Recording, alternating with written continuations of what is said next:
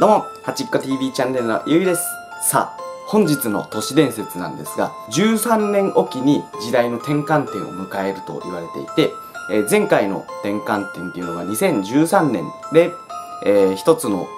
時代がこう区切られていたと。今、月の時代、宇宙の時代と言われる時代が今始まっているとされていて、えー、次の転換点、2026年に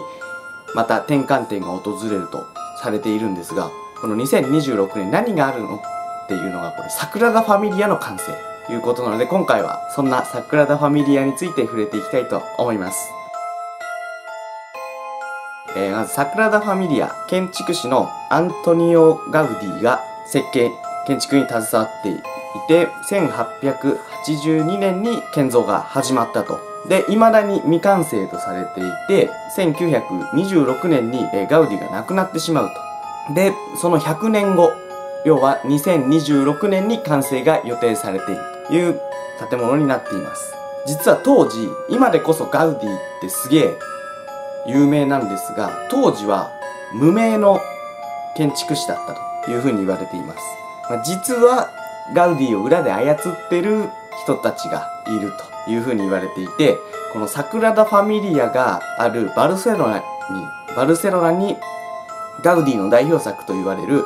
えー、グエル公園っていうのがあるんですが、このグエル公園の中に実はある秘密結社のサインが入っているというふうに言われております。えー、この公園の入り口、えー、ピラミッドに目のマークが入っていて、公園の至るところにね、こう、ガウディの隠したメッセージっていうのが入っていると。というのも実はこのガウディフリーメイソンのメンバーだったというふうに言われておりますでこの、まあ、ガウディコードっていうふうに言われるんですがこのサクラダ・ファミリアの受難の門にある魔法陣こちらが実は縦横斜め、えー、てで数字をこう足していくと33になるでこれ実は、えー、キリストが復活した年を表していたり、フリーメイソンの階級っていうのがえー、33階級あると。で、この3っていう数字、そして着工の1882年から完成予定とされている2026年。これ実は144年。これ1個ずつ足していくと9という数字になるんです。えー、僕らの動画でちょっと前にやった動画で概要欄にリンクを貼っておくんですが、数字にまつわる都市伝説っていうのをやりまして、まあ369っていうのがま宇宙の数字と言われていて、3が創造、6が維持、で9が破壊と再生を表す数字になっていると。このサクラダ・ファミリアの完成で、えー、一つの時代が終わり、新たな時代に向かうために一度破壊というものが行われ、再生する時代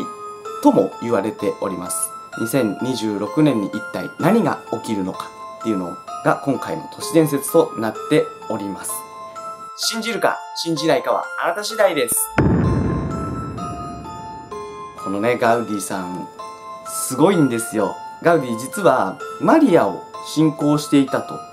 いうふうに言われていて、信仰の門にあるマリア像の手には実は目のマークがあったり、えー、サクラダ・ファミリア内にあるガウディの墓所。この墓所にはガウディのお墓を見下ろすようにマリア像があると。で、このガウディが生きてた時代っていうのは、こう、女性の神様を信仰するっていうのが、こう、公にできない時代で、要は、それをこうね、メス、隠しメッセージとして伝えているとも言われております。えー、こういうね、都市伝説もやっていきたいなと思っておりますので、えー、ぜひ応援よろしくお願いいたします。それでは次回の動画でお会いしましょう。またね